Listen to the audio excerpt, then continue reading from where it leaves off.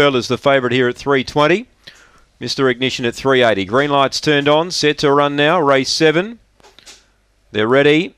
Away. Now, good speed, box three. Velocity Mystic. April's Perla boots up. Black Eyed Rose, trouble there.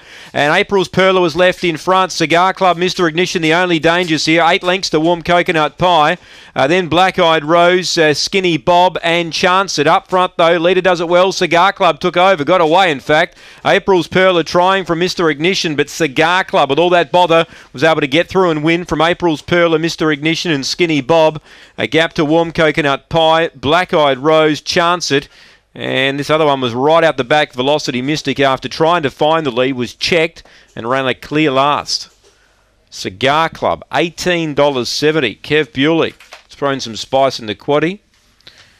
Cigar Club, uh, massive price. And uh, his last win was back in February. He's got the money. Kev Bewley prepares him. Cigar Club. April's Pearl is second, number two. And third is um, number five, Mr. Ignition. There was bother there. Six gets fourth, and that's uh, Skinny Bob. But oh, it was getting tight up top. Velocity, Velocity Mystic was trying to cut down, and April's Perla was trying to keep it out.